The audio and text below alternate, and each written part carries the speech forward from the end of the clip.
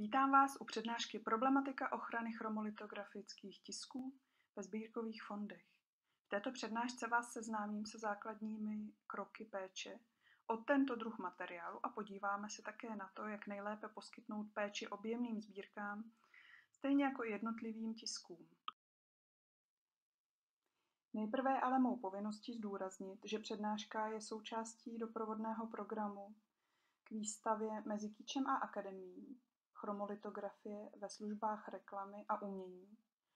A celý projekt vznikl jako výzkumný projekt podpořený Ministerstvem kultury. Tak, zde již vidíte na obrazovce krásné tisky, které vznikly technikou chromolitografie, tištěné na papíru zušlechtěném natírání. Ale než se dostaneme k tisku jako celku, tak si ve stručnosti něco povíme ještě o historii výroby chromopapíru a souvislostech, které vedly ke vzniku tohoto úžasného papíru. A dále potom projdeme identifikací, abyste v případě, že o to budete mít zájem, mohli tento materiál správně identifikovat i ve vašich sbírkách a abyste mohli nastavit pro tento druh materiálu adekvátní péči. Z té historie výroby se zaměříme jen na dobu, kdy byl ruční papír nahrazován papírem dřevitým, strojně vyrobeným. Začnu u krize, která se v té době vyskytla a hledalo se z ní poměrně dlouhou dobu východisko. Jednalo se o krizi materiálovou i výrobní. Ta materiálová krize byla v podstatě jasná, protože narůstala spotřeba papíru pro různé účely, včetně tisku, Papír, který eh, se do té doby vyráběl, byl především z hadroviny a čerpal se ručně. To znamená, že eh, té, papíroviny, té hadroviny nebylo už dostatečné množství. A s tou navyšující se poptávkou samozřejmě ta prohlubeň ještě narůstala. Co se týká toho odlévání papíru, představte si, že eh, jednotlivé listy papíru se odlévaly vlastně na papírenském sítu, to znamená, že pracovník nějaký držel v ruce papírenské síto, vždy na to nalil tu uh, hmotu papírovou, vytvořil jeden arch papíru, vyklepl ho někam na stranu, kde ten papír schnul a začal vyrábět druhý arch papíru. To bylo velmi uh, zdlouhavé a bylo to ne, v podstatě to bylo ne, v té době už méně účelné, než by se očekávalo, než by, nebo než by bylo potřeba.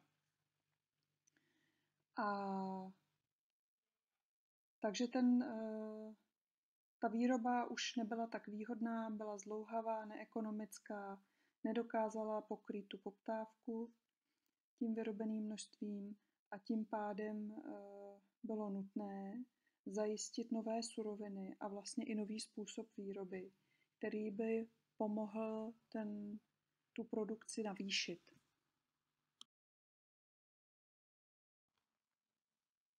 Zhruba od poloviny 18. století probíhaly pokusy ohledně využití různých rostlinných materiálů. Zkoušela se rostlinná pletiva, sláma, řasy, piliny a tak dále a tak dále. A až v roce 1844 se teprve přišlo na to, že je možné zpracovat dřevní obrus a vyrobit z něj v podstatě papír. Přišli na to v podstatě díky tomu, že eh, jeden známý biolog sledoval vosy, které si stavily hnízdo ze zletlelých eh, částí dřeva a napadlo ho, že by vlastně něco takového mohli také vyzkoušet, protože ta vosí hnízda jsou velmi podobná papíru. Ono to ale nebylo úplně tak jednoduché, protože eh, ty vosy samozřejmě to uměly zpracovat nějakým způsobem, ale v té době neexistoval způsob mezi lidmi, jak to zpracovat tak dobře. Takže eh, když zkoušeli vyrobit papír z dřevního obrusu, tak eh, se jim to sice podařilo, ale nemělo to úplně ty vlastnosti, které by potřebovali mít, takže ten papír se potom rozpadal. Nebylo to úplně ono. Takže se začaly hledat různé chemické cesty, jakými eh, by zpracovali vlastně tu původní, tu, tu surovinu dřevní aby docílili vlastností této suroviny takových, které budou vhodné pro výrobu papíru. Ke správnému a funkčnímu zpracování se podařilo vlastně dojít teprve až ve druhé polovině 19. století, kdy vzniklo hned několik způsobů zpracování dřevního obrusu pro výrobu papírové hmoty tím chemickým způsobem.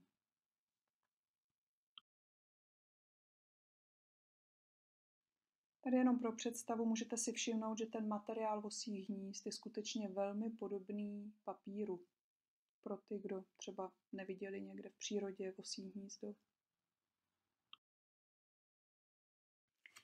Stejně tak v 18. století brzdil výrobu i způsob odlití, jak již bylo řečeno. Té masové produkci papíru neodpovídal způsob odlívání, tedy v sítech a po jednom archu. A tak bylo nutné, jak najít způsob té mechanizace a jak výrobu urychlit.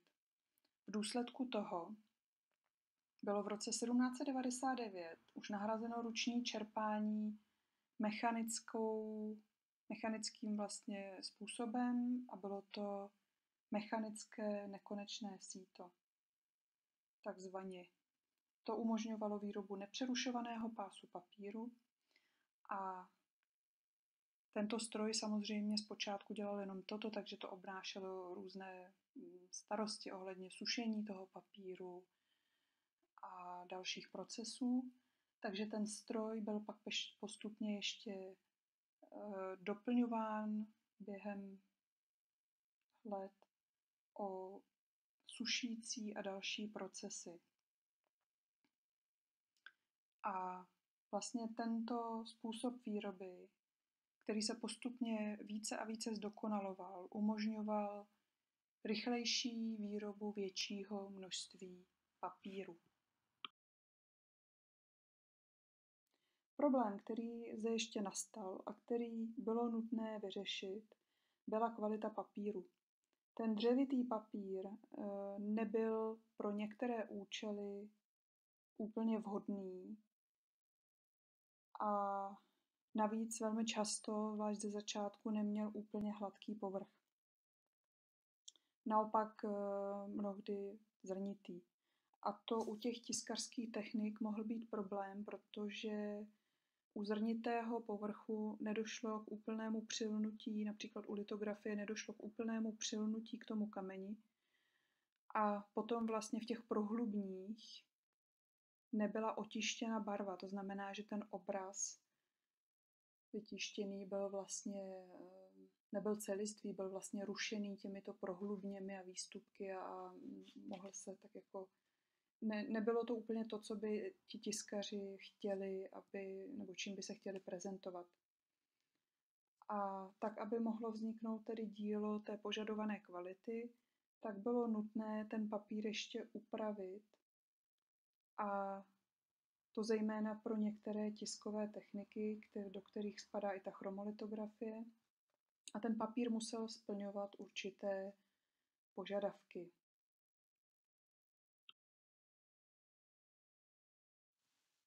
Zde je vidět, že i při značném zvětšení, toto je 56krát zvětšeno pod mikroskopem, je ten tisk naprosto excelentní. Vidíte, že ty linie nejsou přerušované, ne, nejsou tam žádné prohlubně nerovnosti, nic takového a barvy naprosto dokonale prostě přilnuly k tomu podkladu. Eh, s tím souvisí požadavky na tu kvalitu papíru a na jeho vlastnosti, které se odvíjely od požadavků vždy na konkrétní tiskovou techniku. Soubor vlastností, jaký papír musí mít, aby ta konkrétní tisková technika byla dokonale proveditelná, se nazýval potiskovatelnost. A výsledkem musel být vždy kvalitní tisk, který splňoval očekávání tiskaře i zadavatele. Zde můžete vidět další tisk zvětšený pod mikroskopem. Jedná se opět o zvětšení 56 krát a můžete si všimnout, že jak přilnutí barvy k povrchu, tak ten barevný soutisk jsou naprosto dokonalé. A je to především proto, že papír má hladký povrch uspůsobený pro chromolitografický tisk, to znamená už eh, tady vidíte ten chromopapír. Ten soubor vlastností, který papír musí mít pro chromolitografii, neboli ta potiskovatelnost, tak zahrnuje například stupeň zaklížení papíru a i povrchu, schopnost absorpci vody, barev a inkoustů. Potom je velmi důležitá hladkost toho povrchu, to znamená, že potom ten chromopapír eh, se leštil do požadovaného lesku.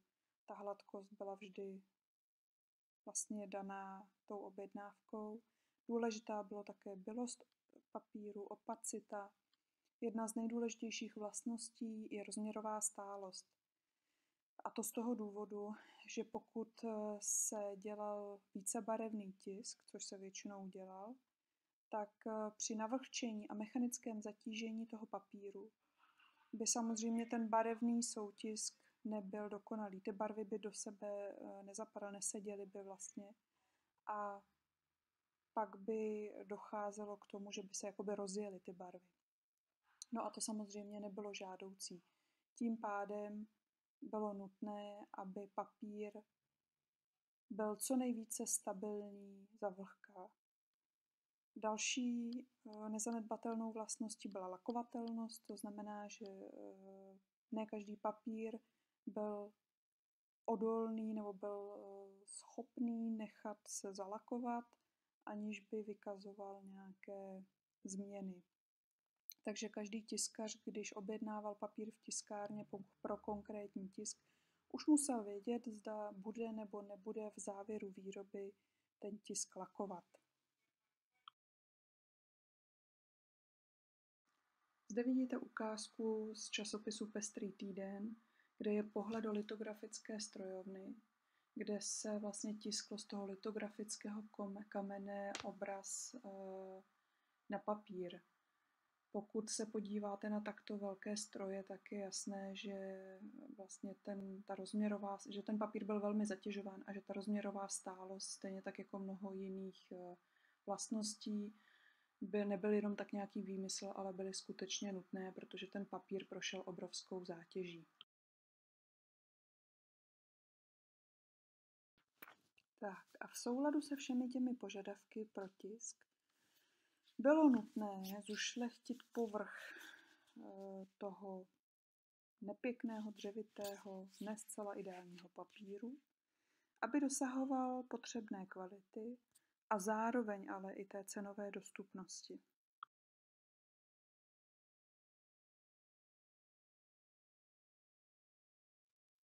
A teď se dostáváme konečně k tomu zušlechťování. Zušlechťování papíru probíhalo v podstatě nanesením pigmentu nebo minerální pasty v tenoučké vrstvě na povrch papíru, a to buď na jednu stranu, to znamená, to byl jednostranně natíraný, nebo na obě strany, a to byl oboustranně natíraný papír. Existovaly různé uh, směsi těch minerálních past. Jejich složení bylo závislé jednak na uh, době, to znamená, co v té době bylo k dispozici za materiály a co bylo také cenově uh, přístupné nebo dostupné. A také eh, samozřejmě je na tom vidět určitý vývoj, to znamená, že eh, jak se přicházelo na nové pigmenty, tak eh, se zařazovaly do té výroby, potom do, do, do té výroby těch natíraných papírů, protože samozřejmě přimíchávaly do těch zušlechťujících past.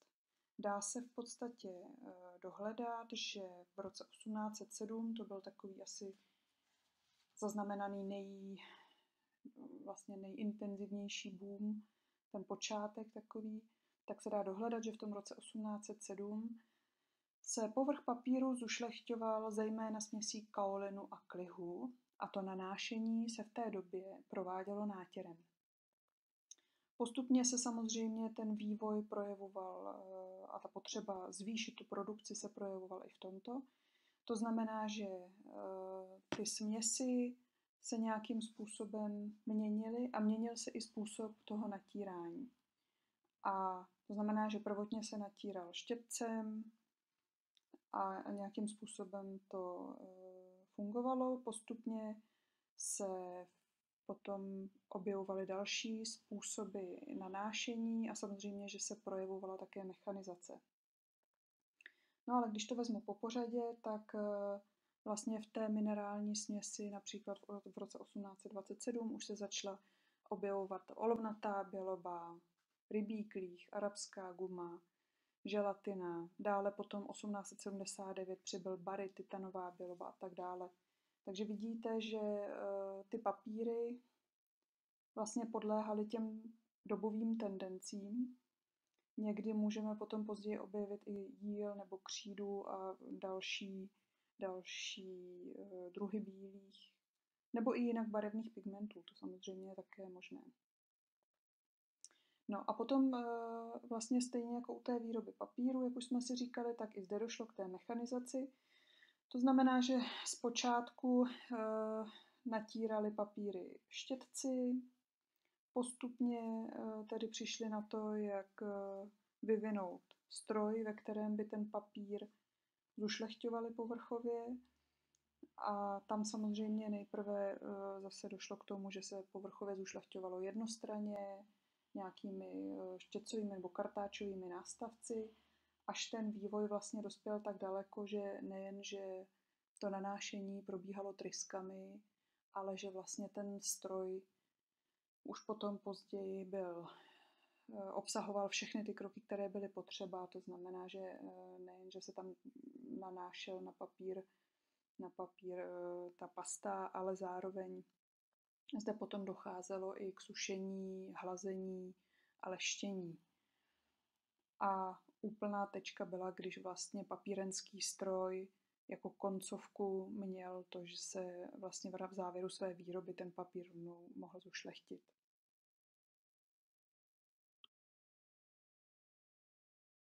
Těmi zušlechťovacími procesy se dospělo k povrchu, který sloužil jako základ a ten byl ještě potom dále upravován.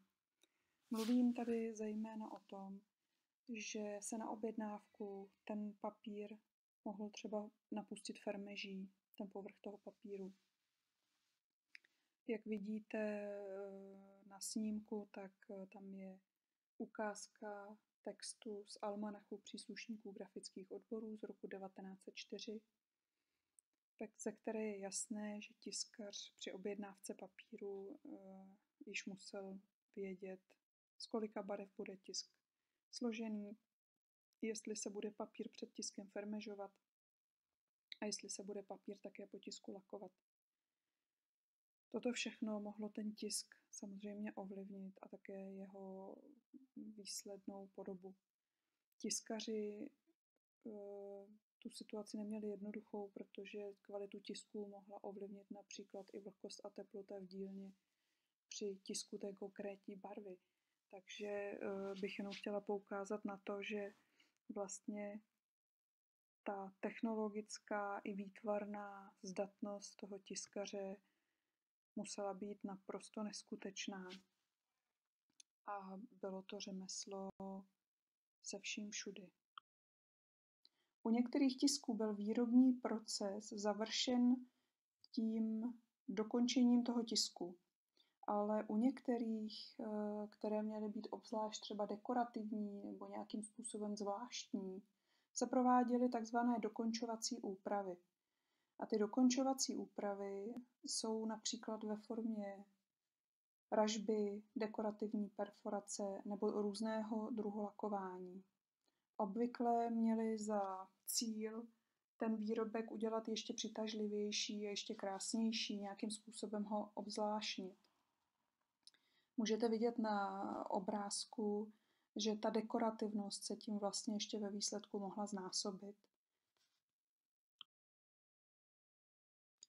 Tady se můžete přesvědčit o tom, že vlastně i to lakování bylo určitou dekorativní záležitostí. To znamená, že neprobíhalo pouze zalakování objektu, aby mm, samozřejmě měl delší životnost, ale zároveň ten lak posloužil k vytvoření jakéhosi rastru nebo z různě zdobného nebo různě lesklého povrchu a tím byl celý ten předmět nebo celý ten objekt vlastně dokončen.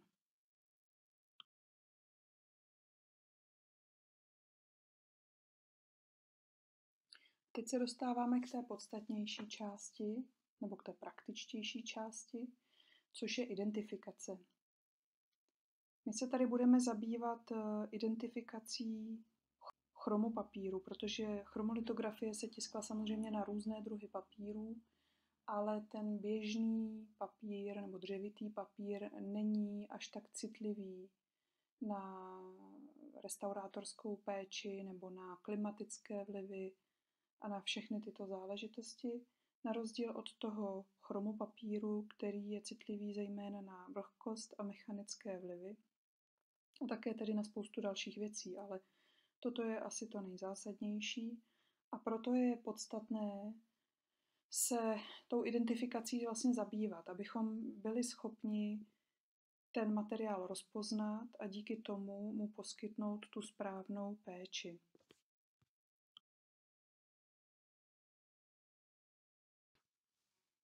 Identifikace je nejjednodušší asi u jednostranně natíraných papírů, o trošku náročnější u obou straně natíraných papírů, ale v případě, že ehm, má tisk dřevité papírové jádro, které, eh, jak můžete vidět na obrázku, žloutne časem či hnědne, tak eh, se celá situace zjednodušuje. Správně eh, se asi možná už někteří z vás domnívají, že tím základním rozeznávacím vlastně rysem nebo základní výhodou, kterou zde můžeme uplatnit, je, že se jedná o vrstvený materiál. To znamená, že když eh, vidíte, že z jedné strany je ten papír bílý a z druhé hnědý, tak už eh, člověka zaujme, že vlastně se tam něco děje. Ale ještě samozřejmě není vyhráno, protože se může jednat jenom o vrstvený papír, kde z jedné strany je dřevitý papír a z druhé strany může mít bavlněný, hlazený papír. To ještě není ta, eh, ta závěrečná fáze, kdy můžeme říct, ano, máme chromopapír. Ale v podstatě eh, je nutné se u těch papírů vždy zaměřit na ty okrajové lokality nebo na ty poškozené části. Tady vidíte několik snímků z okrajových lokalit a ty jsou nejvíce poškozené a vidíte, že eh, dřev, podkladový vlastně dřevitý papír, který je hnědý nebo žlutohnědý, tak na sobě má tu bílou vrstvičku pigmentu, která je vlastně úplně jiného charakteru a která v místech zlomu praská nebo se dokonce vydroluje a je zde jasné, že vlastně se nejedná o vláknitý materiál, že ta povrchová vrstva je opravdu minerální pasta. Takže zde eh, u takovéhoto objektu je ta identifikace poměrně jednoduchá. Tady máte ještě jednu ukázku. Zase se jedná o dřevitý papír na hnědlé barvy, který je pokrytý vlastně vrstvičkou té minerální pasty, velmi jemnou vrstvičkou a můžete vidět, že oba ty materiály jsou odlišné, že vlastně dole je vláknitý papír, na tom je ta tenoučka vrstvička. Tady myslím, že je jasné, proč se tomu také říkalo porcelánový papír, protože vlastně ten kaolin dohromady s tím pojivem vytvořili takovou tu vrstvu, která působí jako porcelán. Bohužel nám tu identifikaci potom eh, mohou zhoršit jiné druhy papíru, kde je nutné už potom vzít zvětšovací přístroje a zaměřit se buď eh, mikroskopicky nebo lupou se zaměřit na ty okrajové lokality nebo i v ploše a hledat eh, určité znaky, které nám napoví, zda se stále jedná o natíraný papír, anebo zda se jedná o hlazený papír. A aby to nebylo tak úplně jednoduché, tak tady máte ukázku toho, jak to vypadá, když to papírové jádro má podobný odstín jako zušlechťující nátěr. V té pravé části je detail, kde můžete vidět, že opět papírová vlákna vlastně vykukují spod té zušlechťující vrstvy, takže i přesto, že barevně je to tady velmi sourodé, tak ale stále je poměrně dobře viditelné, že se jedná o zušlechtěný papír. Zde si můžete všimnout, jak to vypadá, když je bílý papír a bílá zušlechťující vrstva. A ta identifikace tady opravdu není snadná. Toto je snímek eh, zvětšení 56krát pod mikroskopem.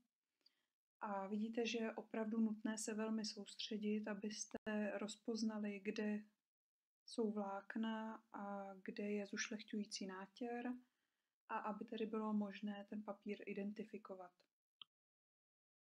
Důležitým identifikačním znakem u chromopapíru jsou také mikroprasklinky, které se nacházejí v celé ploše toho materiálu nebo té zušlechťující vrstvy. Ale bohužel jsou vidět eh, většinou pouze pod mikroskopem, málo kdy jsou vidět i bez zvětšovacích přístrojů. Takže to je taková drobná nevýhoda, ale je to jasným ukazatelem, ukazatel toho, že se jedná o papír zušlechtěný natíráním.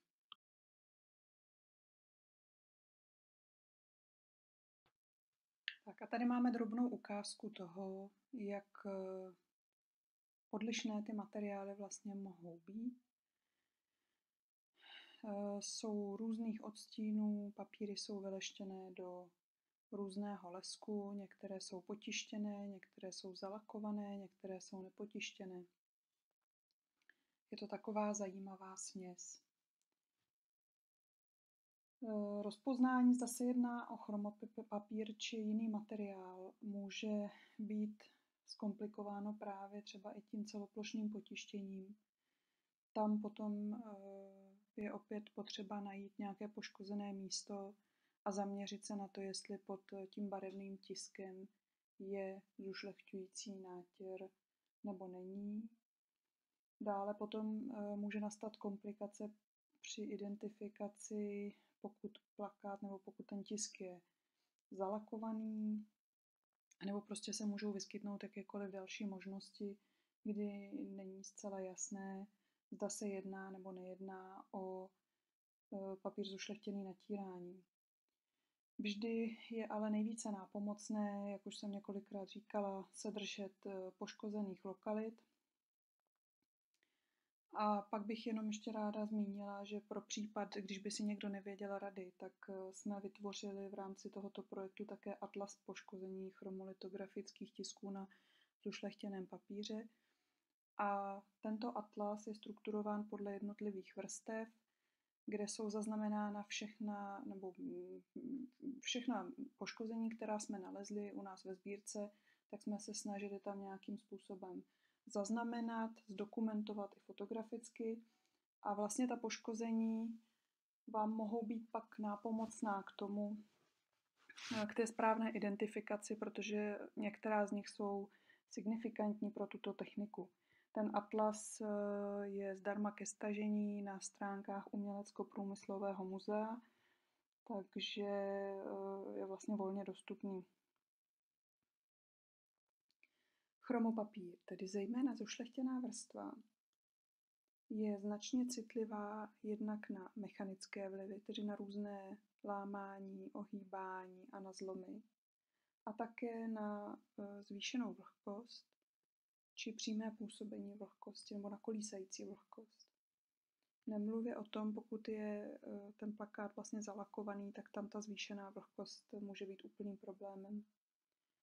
Dále potom to papírové jádro, které tu minerální vrstvu nese, je citlivé na mnohé, ale největším problémem zde bývá právě ta nízká kvalita, která sebou nese problémy ve formě nízkého pH a rychlejší degradace. A pokud eh, papír zatím vypadá poměrně v pořádku a ještě nepokračil v degradaci nějak daleko, tak ale to neznamená, že má to pH v pořádku. Spíše to znamená, že se stává jaká, jakousi eh, časovanou bombou, která um, pokračuje v degradaci, aniž by byla viditelná.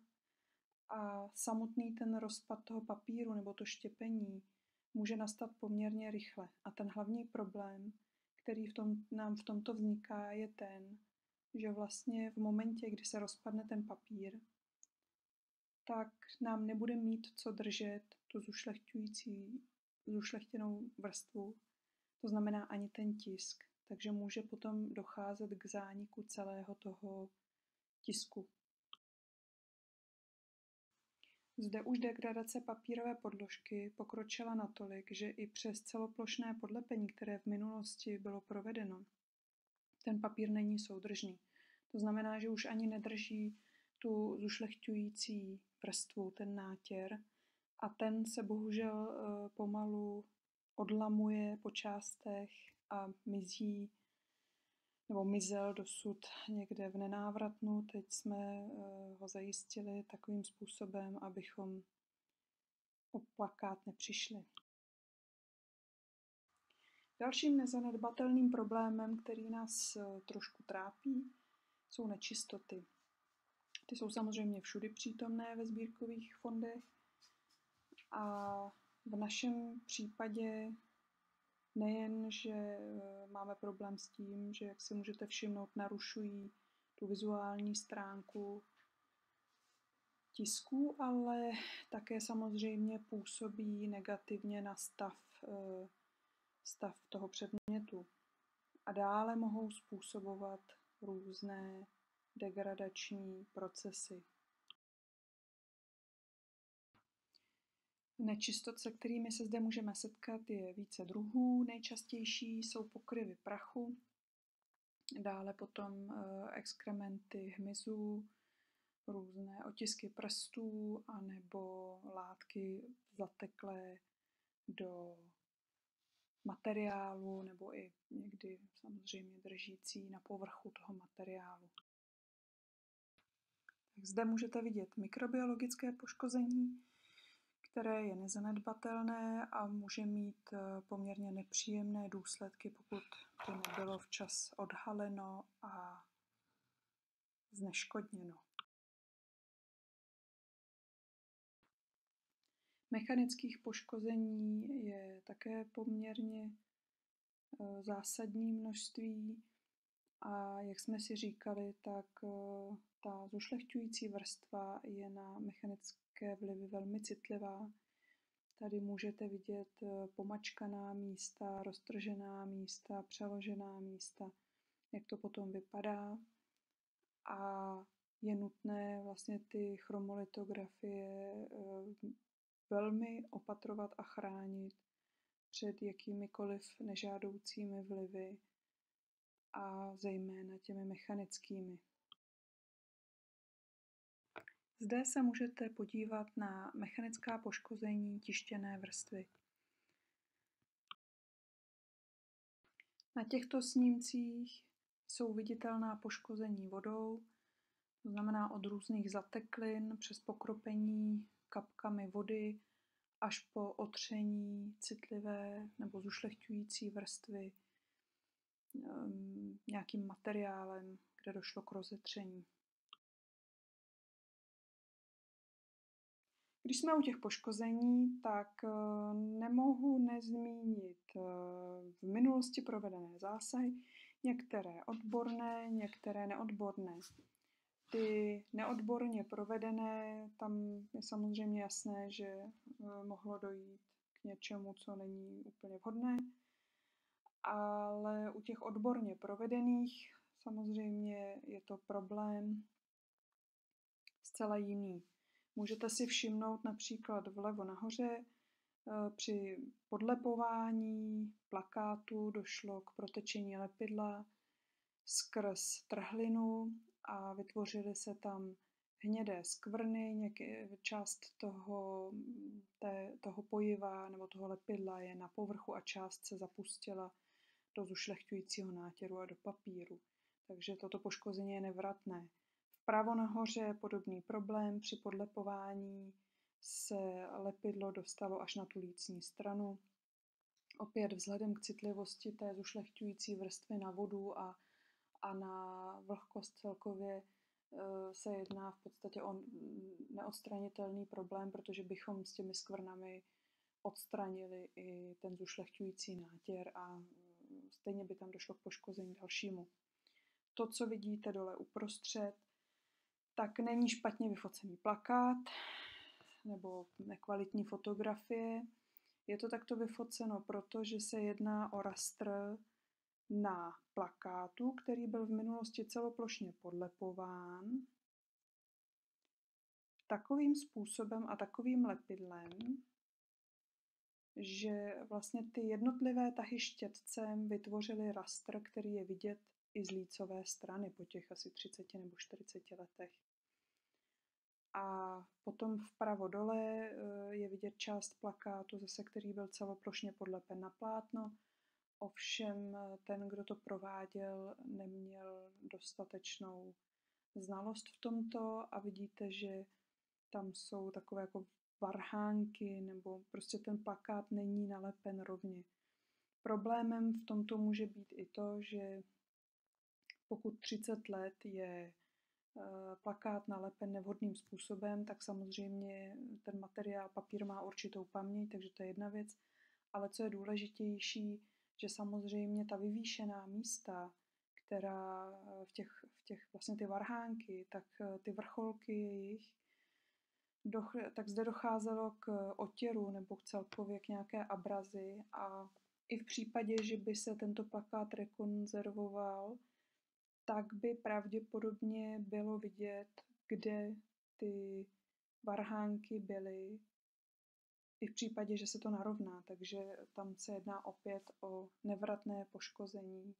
A je to škoda, protože vlastně tyto zásahy byly dělány s dobrým úmyslem, dost často byly po platné době, ale bohužel dneska už se na to díváme trošičku jinak.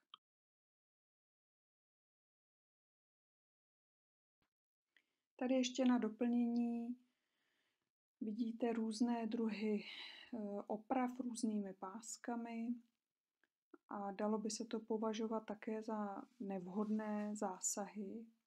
Nicméně eh, toto jsou pásky, které jdou poměrně snadno odstranit, většinou, ne vždy, a které bych řekla, že eh, spíše zachránili velkou část toho tisku, protože v případě, že by tam tyto pásky nebyly a někdo by průběžně neopravoval ty objekty takto neodborně, tak eh, by se jejich části nebo velké části postrácely. Takže zde je to ještě v takové míře, že se dá říct, že všechno zlé je k něčemu dobré. Zde můžete vidět objekt, který je zdoben ražbou a de- dekorativní perforací.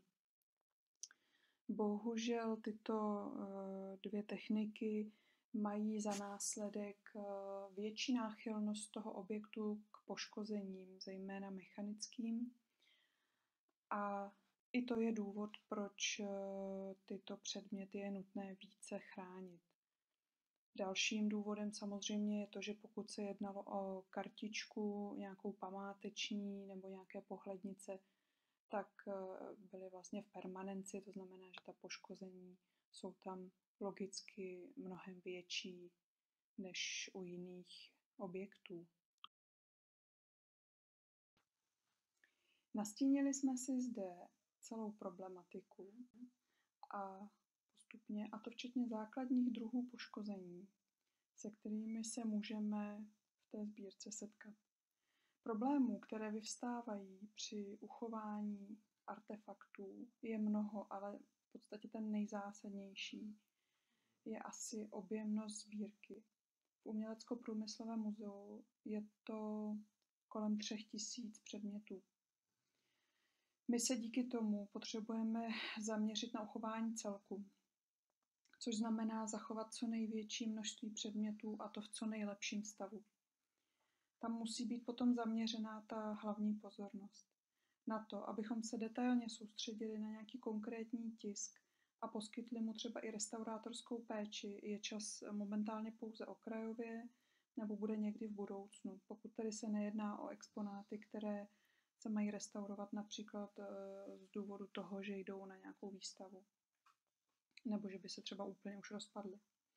Podstatě teď nám jde o to, abychom dostali celou sbírku do stavu, kdy bude stabilizovaná, což zpočátku tedy obnáší projít celý ten fond, identifikovat eh, chromolitografické tisky a vyčlenit je do samostatného souboru a udělat průzkum, jak restaurátorský, tak nějaký třeba i historický, čím získáme velké množství informací ohledně těch předmětů i ohledně celé té sbírky. A v podstatě ten celkový pohled potom nám může pomoci získat ucelenou představu také o stavu těch chromolitografií a nastavit nějakou další konkrétní péči adekvátně tomu, co ty předměty potřebují. Důležitou součástí takovéhoto průzkumu je například složení zušlechťující vrstvy, a to především u předmětů, které jdou potom dále na restaurování. Abychom věděli, jakým způsobem budeme nakládat s tím předmětem, co si k němu můžeme dovolit a co si k němu nemůžeme dovolit. To je velmi podstatné, abychom restaurováním ten předmět nepoškodili a aby tedy nedošlo k zásahu, který by byl pro předmět nebo pro artefakt méně přínosný nebo ještě hůře. To si nemůžeme samozřejmě dovolit. E, další potřebnou informací, kterou bychom měli potom získat, a to je zásadní právě i pro to uchování celku, je naměření hodnoty pH papírové podložky každého objektu. Tato informace je v tuto chvíli jednou z nejdůležitějších, protože z těch předmětů, které jsme měli možnost měřit, nám vychází, že jen 3 eh, artefaktů se pohybují hodnotou pH lehce nad 6. Nad 6. Pouze 26% měřených objektů má hodnotu mezi 5 a 6 Potom 60% tisků vykazuje hodnotu pH v rozmezí 4 až 5, což je poměrně nízké. A 11% předmětů jsou již pod hodnotou 4, což je již velmi rizikový stav. Výsledky jsou velmi překvapivé, protože častokrát ta papírová podložka vypadá velmi zachovale. Působí i celistvě, ale ta realita je bohužel jiná. Nízké hodnoty pH jsou projevem pokročilé degradace a je to jeden z aspektů, který momentálně nejvíce ohrožuje papíry zušlechtěné natíráním, eh, které máme ve sbírce, a to především z doby mezi lety 1880 až 1920.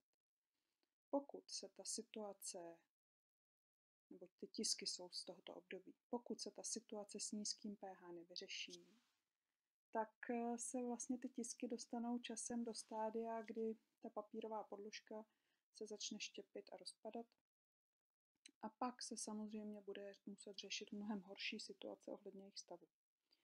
Bohužel jsme prozatím nenašli vhodnou odkyselovací metodu, která by byla pro tento druh materiálů pouze prospěšná to znamená, aby nějak nezměnila charakter té, toho zušlechťujícího nátěru nebo barevnost eh, těch materiálů. A z toho důvodu jsme prozatím zvolili variantu vhodného uložení, kterou se snažíme pozastavit vlastně ten, eh, ten nejhorší stav. A to včetně očištění od povrchových nečistot, což je velmi eh, podstatné. A to, abychom celé toto vlastně se děje proto, abychom odstranili alespoň tu část nežádoucích parametrů, které urychlují tu degradaci papíru, abychom vlastně ty předměty zachovali co nejdéle. Vzhledem ke křehkosti papíru i zušlechťujícího nátěru a pokročilé degradaci té papírové podložky musíme najít nějaký způsob, jak věci, jak, jak ty artefakty ošetřit a uložit, uschovat vlastně i bez eh, funkční odkyselovací metody. Prozatím to tak činíme v takovýchto lůžkách, nebo pas, je to v podstatě pasparta, která má ale víko, nebo nějaký poklop. A ta pasparta zajišťuje aby nedošlo k nadbytečnému mechanickému namáhání. V případě, že ten objekt jde někam na výstavu, tak se dá to víko odklopit, zavřít, vlastně zaklopit dozadu a celý ten objekt se dá uh, takto zarámovat a to bez toho, aby ten artefakt se musel výjímat a dávat do jiné pasparty a tak dále. V podstatě výhodou je i to, že pokud máme například uh, silnější kartony potištěné, nebo pokud uh, objekt je zdoben dekorativní ražbou a perforací různě vysokou, tak eh, my můžeme navýšit i velikost nebo výšku toho, mm, té pasparty, to znamená toho lůžka, takže ani tam nedochází potom k nějakým mechanickým tlakům nebo oděrům a takovýmto škodlivým záležitostem. Tento způsob uložení je navržený Zejména proto, aby byli schopní ty artefakty ukládat i pracovníci s jinou odborností, než je ta restaurátorská. To znamená, že eh, jsme kladli velký důraz na navržení takové adjustace nebo takového pouzdra, které budou schopní si vytvořit i, já nevím, třeba správci depozitářů, nebo prostě, aby byla snadno dostupná a abychom tím pomohli uchovávat ty sbírky nejenom u nás v muzeu, ale vlastně ve všech institucích, kde o to budou mít zájem. Než skončíme, tak vám tady ještě ukáži, jak to vypadá, když ten plakát nebo ten artefakt eh, jde na výstavu a musí být restaurován, musí na něj být tedy zaměřená trošku jiná péče. To znamená, že u běžných eh, objektů dochází k očištění a uložení a u takovýchto objektů, které tedy budou vystaveny, tak samozřejmě dochází k daleko intenzivnější péči. Vzhledem k tomu, že jsme si říkali, že vlastně ta zušlechťující vrstva je velmi citlivá na vlhkost a každá malinko jinak, najde to odhadnout dopředu bez nějakého podrobného průzkumu složení té vrstvy, tak je nutné být velmi obezřetní a opravdu minimalizovat působení vlhkosti na takovéto objekty. V tom se nám ta péče komplikuje a v tom ten restaurátorský zásah je vlastně malinko odlišný, protože nemůže dojít k nějakému většímu zvlhčení. Tady na tom obrázku vidíte plakát rolnické sladovny, který vlevo je v původním stavu, vpravo je po restaurování. Zde došlo k očištění, opravení těch trhlin, vlastně správnému sesazení a opravení trhlin. Potom můžete vidět, že byla doplněna ta chybějící místa novým materiálem,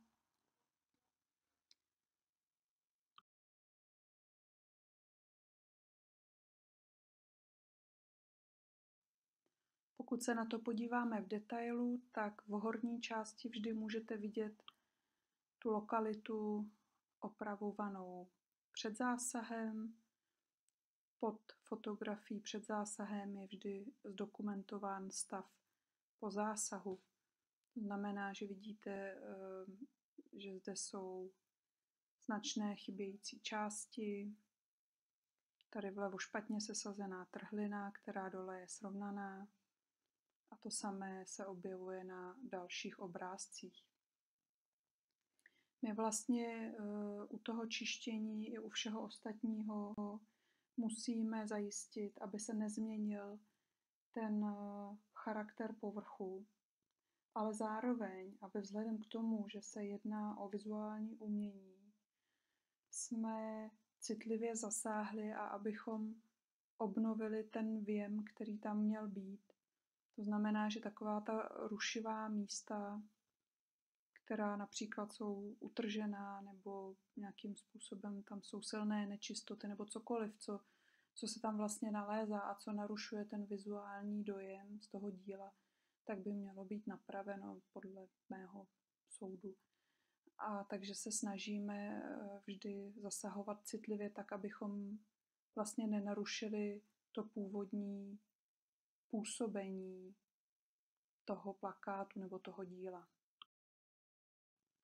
Zde se můžete ještě podívat, jak to vypadá z té zadní strany, když vlastně vlevo vidíte plakát, který je opravován eh, lepícími páskami různého charakteru.